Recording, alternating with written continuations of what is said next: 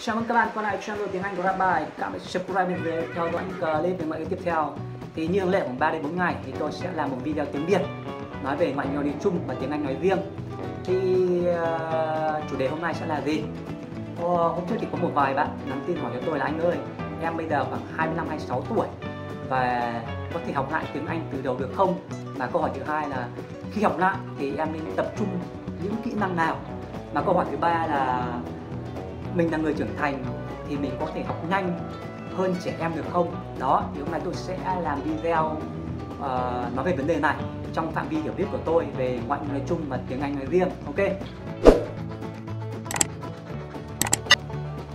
Thì khoảng uh, ờ, như các bạn đã biết thì uh, tôi nghĩ là rất nhiều bạn ngồi đây thì khoảng 90 tuổi thì chúng ta đã bắt đầu học tiếng Anh rồi.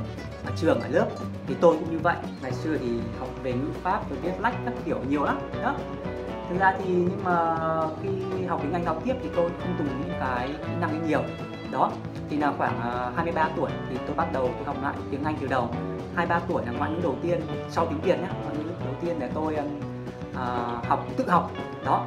Thì là cho nên là các bạn nào khoảng 25 26 tuổi hay khoảng 30 tuổi học lại tiếng Anh tự học lại cũng chẳng vấn đề gì cũng chẳng muộn đâu. À, nhưng mà trước khi học lại ấy, thì các bạn biết cái mục tiêu cái mục đích của mình học tiếng Anh là gì. Ví dụ là học tiếng Anh để thi những cái bằng nào đó để có một mức lương cao hơn hoặc là đi du học ở nước ngoài. Hoặc là học tiếng Anh chỉ để giao tiếp thôi để mở mang tri thức để đọc sách để nghe nhạc bằng tiếng Anh. Mang tính chất là uh, thú vui hoặc là mình gọi là muốn giao tiếp với nước ngoài để mở mang hiểu biết thôi như tôi chẳng hạn. Mục đích của tôi học tiếng Anh đến tận bây giờ cũng chỉ là mang tính chất là trao đổi văn hóa để giao tiếp để mở mang tri thức nói chuyện với bạn bè quốc tế đọc sách nghe nhạc chấm hết. Mục đích của tôi học tiếng Anh không phải là thi một cái bằng nào đó. Đó thì các bạn phải rạch ròi ra là mình thi lấy cái một cái bằng hay là mình học tiếng Anh để giao tiếp đọc sách nghe nhạc. Tôi thì là giao tiếp đọc sách nghe nhạc nha tôi không liên quan đến bằng cấp cả vì đến thời điểm này tôi không quá quan trọng bằng cấp. À, thì là nếu mà các bạn nào mà muốn học từ đầu mà giao tiếp từ đầu đó thì là câu hỏi đầu tiên là 25 26 tuổi hay 30 tuổi thì các bạn cũng có thể tự học được tiếng Anh nhá. Sắp xếp thời gian công việc và tự học được ok. Thế còn câu hỏi thứ hai là uh, khi học tiếng Anh mới đầu tự học tiếng Anh giao tiếp thì lên tập trung kỹ năng nào. Thì tôi nhớ thì tôi cũng làm cái video như này rồi về là uh, khi mà học tiếng Anh thì nên tập trung kỹ năng nào thì các bạn cố gắng vào trang của tôi tìm hiểu hoặc là tìm những video lên nghe lại. Thì tôi nói qua lại có nghĩa là uh, mình học tôi học bất cứ ngoại ngữ nào thì tôi cũng trải qua bốn kỹ năng là nghe nói đọc viết. Như một đứa trẻ như một đứa trẻ như một đứa bé luôn. Thì bây giờ rất nhiều trường lớp mở ra thì người ta dạy các bạn nói đây là cái bước hai nhá. Bây giờ người ta dạy các bạn nghe thì người ta mới làm sao thu tiền các bạn được đúng không? Bây giờ các bạn người ta mới nói là à, người ta mới marketing là phải nói tốt thì mới nghe được. Nhưng mà tôi thì tôi chẳng nói tốt mà tôi cũng nghe được. Đó thì cái vấn đề là bây giờ người ta mở trường mở lớp ra thì người ta dạy đó thì người ta thu tiền các bạn được. Chứ người ta dạy nghe thì làm sao thu tiền được đúng không? Thì tôi chẳng dạy ai cả. Thì cho nên là tôi chia sẻ chân thành là tôi nghe trước xong mình nói, xong mình đọc mình viết. Đó, thì các bạn cứ theo bốn bước nghe, nói, đọc, viết. Rất nhiều chỗ người ta sẽ nói là học song song nghe mình nói, ok, cũng được, nhưng mà rất nhiều chỗ thì người ta sẽ marketing là phải nói trước nghe. Thì tùy các bạn thôi nhưng cách học của tôi là nghe, nói, đọc, viết. Khi nghe được thì tôi sẽ nói được. Còn nói đúng hay không, nói chuẩn hay không, như nào thì còn tùy tùy người bản địa người đánh giá. Tôi, người bản địa người đánh giá thì mình khách quan nhất, mình chuẩn nhất.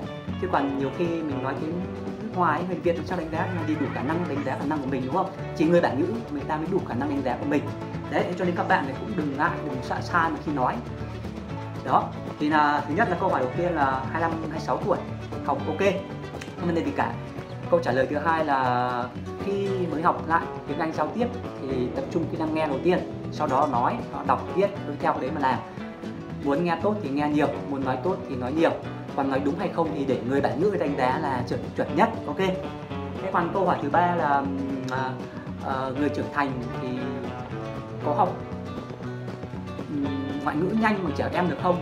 Cái câu hỏi này tôi cũng đọc vài một vài cuốn sách về cái bộ não và về cách học ngoại ngữ.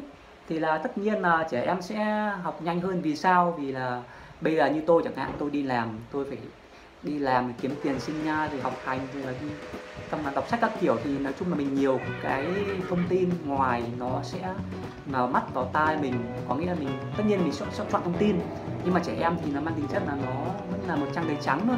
Thì khi là khi học thì chắc chắn thì nó muốn học cả chơi, chắc chắn nó sẽ nhanh thì mình được cái chắc rồi. Nhưng mà không vì thế mà là Ờ, mình nghĩ là tuổi già nhiều tuổi là không học được tiếng Anh. Tôi chứng kiến người khoảng bốn năm mươi tuổi người ta học tiếng Anh được vẫn hấp thụ được vẫn nói ok được. Vấn đề là các bạn dành thời gian bao nhiêu với tiếng Anh? Nói chung là ngày xưa tôi học tiếng Đức chẳng hạn tôi bây giờ nói tiếng Đức gọi là tán tạng, gọi là giao tiếp tán tạng thôi từ đầu tôi chẳng thích tiếng Đức đâu nhưng mà khi tôi dành thời gian với nó tìm hiểu về nó đọc sách về nó có nghĩa mình dành một thời gian nhất định mỗi ngày cùng với nó thì bắt đầu mình tìm hiểu dần dần ấy thì bắt đầu là mình sẽ thích nó dần dần lên. Và mà khi nói chuyện tiếng Đức với cả người bản địa người người Đức ấy mà người ta hiểu mình ấy, thì bắt đầu là một cái năng lượng một cái sở thích lại tăng lên một chút tăng lên một chút. Có nghĩa là mình sẽ à, mình dùng được một chút của người ta hiểu mình. Thì bắt đầu là mình sẽ thích nó hơn. Đó có nghĩa là mình dành thời gian cho nó gần gũi với nó như tiếng Anh chẳng hạn. Dành thời gian với nó gần gũi với nó à, tiếp xúc nó hàng ngày. Thì dần dần thì là nó sẽ là bạn của mình thôi nó gần gũi với mình thôi đó còn giỏi hay không thì tôi không bàn tôi chỉ biết là à, à, khi mình tiếp xúc nó nhiều thì bắt đầu mình sẽ thích nó dần dần lên. Có nghĩa là phải mất một thời gian nhất định. Đó. Thì tiếng anh như vậy thì các bạn cứ bỏ thời gian ra mỗi ngày nghe một chút nói một chút rồi đi giao tiếp với nước ngoài nghe nhạc. Trong đọc sách của tiếng anh mình hiểu một chút dần dần lên thì bắt đầu mình sẽ có hứng thú với ngoại ngữ đó. Đó thế là đấy thì hôm nay là ba câu hỏi uh, của các bạn. Uh, inbox cho tôi trên Facebook thì hôm nay tôi sẽ làm tôi tôi làm video này để trả lời trong phạm vi hiểu biết của tôi là như vậy. Đó như các bạn nào có câu hỏi về bằng tiếng Việt thì cứ nhắn tin inbox cho tôi ID cho tôi. Thì là nếu mà tôi biết thì tôi sẽ làm video kiểu như này để tôi trả lời thắc mắc của các bạn để sao chúng ta có một cái cách học tiếng Anh mà nó hiệu quả nhất mà uh, uh, ok. Đấy đấy là một cái mục đích của tôi ok. Cảm ơn các, các bạn lắng nghe và theo dõi. Nếu các bạn có thắc mắc gì thì cứ ID cho tôi trực tiếp. Tôi gắn cái Facebook ở trên YouTube ấy đó ok, cảm ơn các bạn đã nghe và theo dõi. Chúc các bạn có một ngày làm việc hiệu quả, vui vẻ và tràn đầy năng lượng. Ok, chào các bạn.